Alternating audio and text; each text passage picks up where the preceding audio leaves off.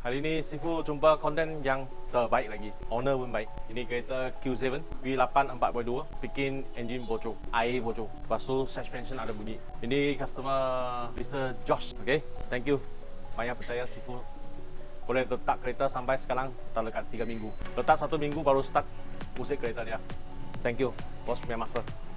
Okay, kita kasih teori sikit. Kamera balik. Ini kereta, dia bocor kuat. Engine sini side bocor, ada cooler bocor. So cooler bocor sampai bawah. Jadi anti roll bar dia punya boost sudah bengkak. Minyak kena lava, lava bengkak. Lava bila bengkak, so tangkap tak ada ketat, dia ada bunyi. So, ini pun ada cara yang ngam juga lah, bukan tak ngam. So, tengok kamera sini. Nampak anti roll bar boost ni ah, lapis tube. Oh, sini pun sama, lapis tube. So, Sifu bagi tahu kenapa. Sekarang ini anti roba boost original dia tak ada provide service. Maknanya kalau anti roba boost rosak, dia kena tukar satu patang anti roba. So ada foreman yang tolong owner jimat dia lapis tube.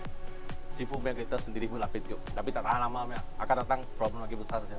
So kita kena settle yang kenapa jadi macam ni. Kita siap itu bocor dulu, lepas tu bikin siap itu engine bocor punya problem dulu.